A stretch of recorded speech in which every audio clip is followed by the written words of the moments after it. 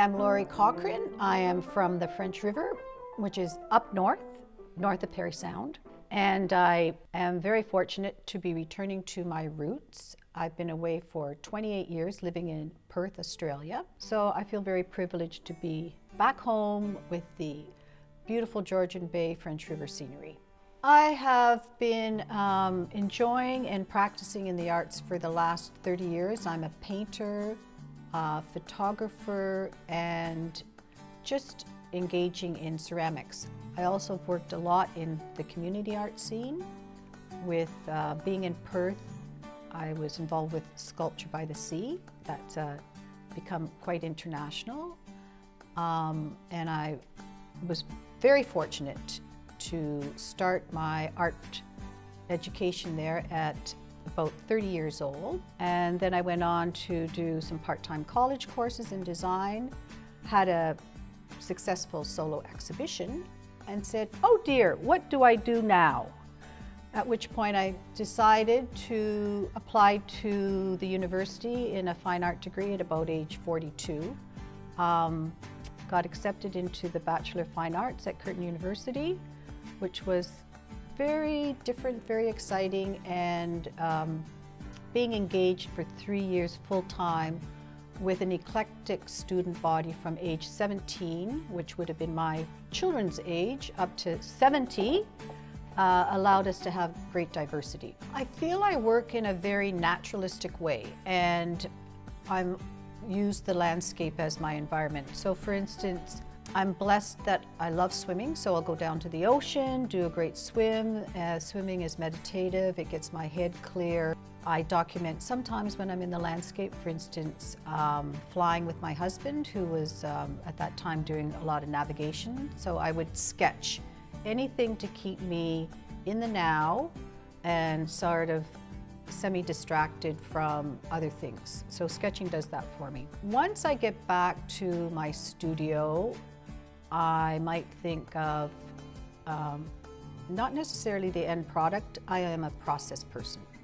So I'm going to maybe reference, say, the painting of Ningaloo, which I have behind me. That um, is a large watercolor. Now, I had already been doing classes in watercolor for over 10 years, working very small. I had been in Ningaloo Reef, which is a dynamic uh, UNESCO site um, coral reef. And I was in a spotter plane. My job was to look for the whale shark. Uh, so I'm actually looking down and I'm just uh, glancing at that turquoise indigo water and at the time there were no whale sharks, which was fine.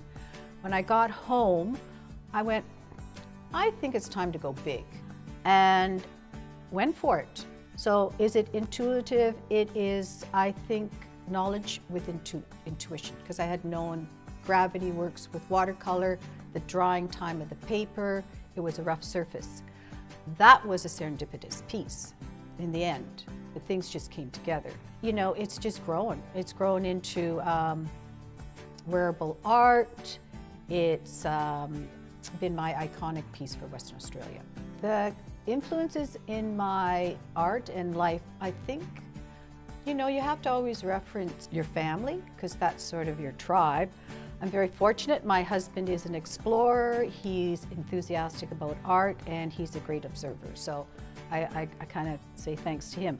When I look back into our family tree, it was absolutely amazing. My grandmother painted, my aunt paints, my sister paints. Um, I'm fortunate my daughter um, paints. Um, so it, it was very much in our DNA, but we might not have had the environment at the time to pursue art. With different art instructors, or more so if you can engage in things like I worked as a volunteer at the Children's Literature Festival. I got to meet Shaun Tan. He's now an Academy Award winner for the short animation film um, Lost Things. So he's actually a writer of books and illustrator, but he is a painter. I, I didn't realize living in Perth, I was just surrounded with um, so many artists, and because it's a small city, I'm sure that happens in cities all over the world. Having said that, it is nice to get back to your own quiet voice, take away all the distraction, and sit with your work and just say, hey, you know, be mindful that you're not overly influenced and try to find a style within your own self. What might be integral in my work? I think I really enjoy when something comes together and there's um, a quality of aesthetics, of some sort of beauty, imperfection and beauty. So um, my pottery might be an example of that. Um, I was just taking pottery with a group of, of professional ladies and they always used to laugh because you know they came from a very old school where everything had to be just perfect and I said oh this is wabi-sabi this is the Japanese things have to be imperfect I want to really create um, something that has the essence of the place the essence of the object and maybe um, a spiritual quality. But what does that mean to you? Might mean something different to someone else.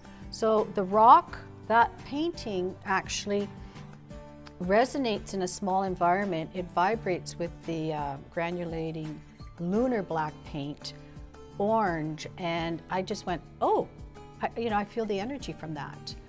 What is next I've really enjoyed regrouping. So as I mentioned, I've just transitioned from Perth, Australia, 28 years, to the French River. Um, it's my first time being in the Four Seasons. This winter, I did not worry about my practice. Basically, I got out in the landscape, I snowshoed, I took photos, uh, funny videos that I'm enjoying. As the summer comes, Mapping Pines is back on the, I can't get away from this iconic pine. It's just, it's so ingrained in my psyche, as it is for many people. I mean, you're just, this is the most God-blessed place.